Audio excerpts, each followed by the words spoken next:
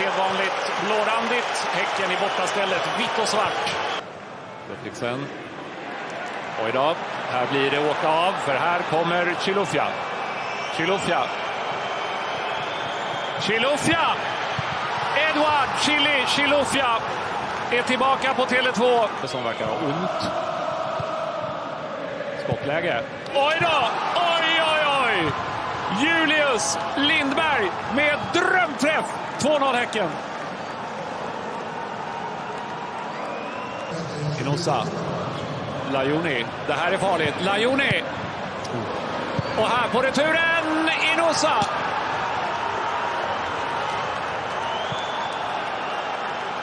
Häckens rekordförvärv från... Gulliksen. Utmanar Sandberg. Bra spelat Dahl. Nguyen. Ja, han försöker Oj, oj, och det oj. där är ett enormt vackert reduceringsmål ifrån norrmannen. Han emellan. Oh, det där är farligt. Här är Bergvall. Bergvall! Bergvall! Räddningen från Linde! Retur i mål! Det är mål igen från toppen för Nguyen! Och Djurgården lever i den här matchen mot alla odds! Ja, det är bra gjort utav Gulliksen. Titta på Nguyen in i mitten. Här är Nguyen. Får ingen träff. Andra läget är Radetinac! Det är straff Djurgården! Det är straff Djurgården i den 93 minuten!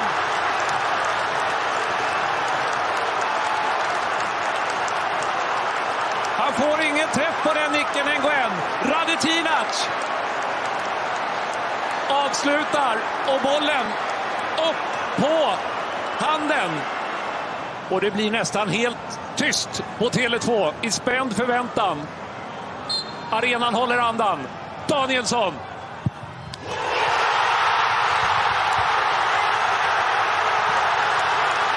Hur kunde det bli så här? Nej, jag vet inte. Jag vet inte. Det är... Fotboll är märkligt några gånger. Sabovic får ner bollen. Danielsson igen. Kliver fram. Kontringsläge. Och då kan det bli något för Häcken. Nej, det blir inte det. Och då är matchen över. Alltså, om eh, ett oavgjort kan vara seger så är det här ganska nära det när man ligger med 3-0 och det är inte så lång tid kvar. Så jag tycker grabbarna gör en ganska bra match fram till lång period och det blir extremt hårt straffade så fort de är i våra straffområden. Så att, ja, det känns rättvist. Det ska jag inte stå och säga att man tror att man ska vända, men jag tycker hela, vi gav liksom aldrig upp och hade energi hela vägen. Sen är de väldigt jobbiga med sin snabbhet och alla vet ju vad Chile går för om han får ytor. Så att, ja, bra hanterat. Jag kände mig dött eh, ett tag där, eh, men eh, jävligt fint. Det visar på en bra moral. Hur viktig är den här poängen? Nej, men alltså, alla poäng är viktiga eh, och jag tycker att sättet som det är idag, det är 0-3. Jag vet inte när vi gör, det är 85 vi gör 3-1 tror jag. Eller sånt där. Så att jag menar, alltså komma in och liksom sända energi i grabbarna och sen liksom försöka ro på det och idag gör vi tre mål och vi ska ha en och en halv minut till och då gör vi fyran, det är jag helt säker på. Ja, först och främst kan vi tacka Tokmak för ett otroligt bra inhopp. Eh, två mål. Sen eh, så kändes det som att det var, det var rätt över där, men vi, vi fortsätter kämpa. Vi är starka mentalt. Får in ettan, kriga på, kriga på, kriga på. Får in tvåan och så bara känner man energin. Ja, nej, nej. Så, så till slut får vi in, får vi in trean på straff. Sen lite tråkigt att den blåser av 95. Förstår inte någonting. Eh, så det är trist. Eh, när det har varit mål, det har varit straff, det har varit allting. Det har varit massning. Om blåser av 95, det känns helt overkligt. Men du glömmer en grej. Vadå? Ett jävla stöd från, från läktarna har vi. Under hela matchen. Ja, det är otroligt Så från, från sekund ett med ett eh, otroligt tifo till att börja med och sen bara en En otrolig inramning faktiskt. sång i, i 95 det är plus så minuter. starkt och det är så Och det stödet gör vi att ja, underbart att se, även fast vi ligger under med 3-0, att, att eh, våra supportrar fortfarande krigar. Där uppe på läktarna och, och ännu mer Och det gör de vi som vänder den här matchen. Och det gör så att de, de hjälper oss. De är minst, minst hälften av, av allting, om inte, om inte mer. Ja. Hjälper oss till den här vinsten. Så det känns, eller vinsten, det känns som en vinst med den här poängen. Eh, så det känns helt underbart. Eh, tackar alla inblandade. Men Sampa, hur kändes det när Häcken gör, gör 3-0? Ja, hur känns det? Punk. Lite... Pyspunka lite. Ja men eh, uppgivet på något sätt. Vi har ju, alltså, ja, jag vet inte hur många hörnor vi har i den här matchen till exempel. Och bara att vi kommer ut i andra halvlek och börjar. Vi börjar jävligt starkt och sen det liksom som att när de gör det här målet så går lite luften ur och vi känner vad fan vi har den här matchen. Men sen ligger vi under med 2-0 och sen blir det 3-0. Eh, Och de har chans till 4-0. Det känns som att Exakt. vi, vi slår lite på takten där. Sen så när vi får lite byten känns det som att vi får in lite mer energi, vi håller i bollen. Så när första målet kommer då känner vi att vi får mer energi, de blir lite stressade. Sen ett mål till, nästan direkt efter. Och då är det bara momentum. När jag vinner bollen och, och, och skjuter och så kommer Tokmak på returen och lägger in den. Och sen så får vi, får vi en straff där. Och då, Är Mackan kylig som vanligt? ja mitten, alltid ledigt. Så jävla kylig är han. Det är Han är en, fin. ja, det är en eh, Lukas, om du ska, ta, om du ska se- berätta om hur, hur var Sampa idag? Sampa var otroligt fin, tycker han eh, tar fram bollen jättebra. Eh, kommer in i ytor, jag tror han får en assist där. Får det på Tokmans mål, eller var inte du? Det var Gulliksen ja, kanske? jag vet inte. Jag vet Nej. Men det känns som att han tar fram bollen bra, eh, både bra defensivt och offensivt. Eh, så absolut en av, om inte seriens bästa vänsterbackar, absolut. Och Sampa, vad säger du om. Lukas idag? Ja, vad ska man säga? Han är väl alltid planens stjärna. Han är otroligt... Eh, vad ska man säga? Eh, du vet vad du får ut av honom när du, när du har honom på planen och du kan alltid spela honom. Han, han kommer göra show utan att eh, du behöver oroa dig. Så eh, han är trygg på planen. Hur skönt är det nu då med en poäng? Är det okej ändå? Ja, det känns som en vinst, jag sa det tidigare, men det är det inte det ska man inte... Ska man inte... Nej, nu direkt känns det ju... Jag hämtar upp 3-0, det är väl en jävla känsla. Ja, 3-0 på varje 8 minuter. Det Men sen att vi sjukt. släpper in tre mål när vi väl liksom kollar tillbaka på matchen är väl, är väl mindre bra. Vi tappar Ja. väl... Eh, jag vet inte vad. Vi tappar väl bollen första målet och då blir det kontring. Så det är mycket kontringar vi åker på. Ja, det, Känns det som. Och det är väl där vi egentligen torskar matchen. Eller? Verkligen. Speciellt när vi har, precis har vunnit bollen och så är vi på väg upp. Och så tappar vi den. Då känns det som att vi är ganska obalans. Och, och de kommer till, till bra chanser att göra även, som du säger, 1-0 där. Vi tappar Eh. bollen när vi inte är riktigt redo på det och då är det enkelt för dem att, att, att ställa om på oss. Ja, det är svårt att analysera om jag ska vara riktigt ärlig. Eh, men eh,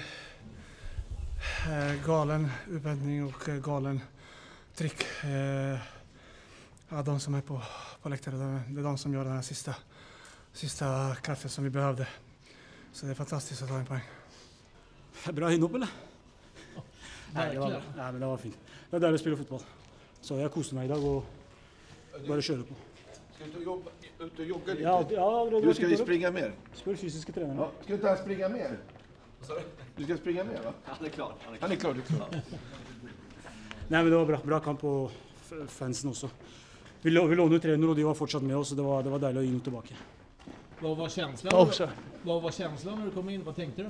Jeg ville bare spille, for å være ærlig. Eh, Det lenge siden jeg har spilt fotball. Så når jeg kom inn, og jeg merka også på stadion, det var, det var bra trøkk, og det var deilig. Så det bra. Och berätta om målen. Første målet eh, Jeg får ball, eh, og så vender jeg opp, og så bare går jeg for det. Idet jeg, i det jeg skyter, så merker jeg at jeg treffer godt, og jeg har allerede snudd meg før jeg, før jeg feira. Så det var, eh, det var et fint mål. Og andre målet fra, på retur, så var jeg klar der også, så det var, det var bra. Känslan nu efter en poäng. Ja, å komme ligge under 3-0 og, og, og, og få med oss eh, ett poeng på så kort tid også. Så jeg tror vi skal være fornøyde med det. og Hekken er et godt lag. og De ga oss mye problemer, men eh, vi kunne til og med oss, eh, ta- tatt med oss tre poeng.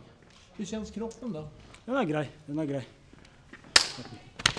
Den er grei. Jeg, jeg har ikke spilt fotball på lenge, men eh, jeg har jobba godt. og De siste to ukene nå så har jeg, så har jeg jobba godt. og jeg merker at jeg trenger, jeg trenger litt til. Ja, då hälsar vi välkomna till presskonferens efter Djurgården-Häcken. En eh, synnerligen dramatisk avslutning eh, där matchen slutar 3-3. Och vi lämnar eh, ordet till bortalagets tränare. Varsågod. Tusen takk. Først vil jeg si at eh, veldig stolt av det s- spillerne gjør den første 87 minuttene. Det er en Närmast prickfri bortekamp hvor vi står godt imot i perioder og er veldig giftig fremover. Hvis det er noe vi skal sette fingeren på, så er det at vi ikke skårer nummer fire og fem. For vi har noen svære sjanser til å gjøre det. Ehm, um, og så vil jeg gi Djurgården kreditt for avslutninga. Et eh, fantastisk skudd i krysset, og så blir det trykk imot. Um, ehm, så da må vi se på hva, hva vi kan gjøre bedre de siste ti minuttene der. Men frem til det så syns jeg det er strålende levert av spelarna spillerne våre. Tack för det. Varsågod Thomas. Ja, en väldigt speciell fotbollsmatch. Ehm, där allt egentligen går emot oss. Ehm, som Paco säger, alltså, de spelar en bra bortamatch, men jag tycker vi gör en ganska okej hemmamatch också. Jag tror Häcken har inte något som liknar en målchans fram till vi tappar bollen och, och Chile gör 1-0. Ganska bra kontroll i första halvlek. Vi har någon i ribban och något bra avslut, men skulle väl ha fått ut lite mer på, på eh, våra lägen kring, kring deras box i första halvlek. Men tycker att det är en ganska okej halvlek. Startar andra halvlek jättebra, men sen så kommer det pang, pang, tvåan och, och trean och sen är ju Häcken överlägsna en period. Då har vi jättesvårt. Det är inte kul att ligga under 3-0 mot ett så skickligt lag som Häcken. De kan passa runt bollen och när vi tappar tålamodet så sårar de oss och skapar väl ett par bra, bra chanser där. Men eh, den stora grejen man tar med sig är ju moralen i det här laget. Vi visar det gång på gång eh, när saker går emot. Eh, sist var det Sist var det Stockholmsderbyt där det missas oklara utvisningar och släpper in mål i matchens eh, sista minut och vi reser oss upp och kommer tillbaka. Och här, här igen, det är, det är ingen som slutar tro på att det går att göra någonting där ute. Så det är otroligt eh, stolt över den här gruppen, vad de, vad de presterar tillsammans. Tack. Tack för det. Då lämnar vi utrymme för att ställa frågor. Så att, eh, räck gärna upp en hand om du vill ställa en fråga så tar vi det i mikrofonerna. Eh, Paco, vad eh, säger du om straffen? Ja, det är först och främst upptaget att vi, att vi fokuserar på vad vi gör och inte gör bra nog de sista tio. Så, så är det ju en intressant situation. Jag tycker domaren brukar rätt lång tid för han blåser av. Så det tyder ju på att han är i, i tvivel. Ehm, jag har sett den på nytt, och jag kan inte se att det är något fel med hur Adam har sin hand till kroppen. Ehm, så jag tycker den ser ehm, soft ut.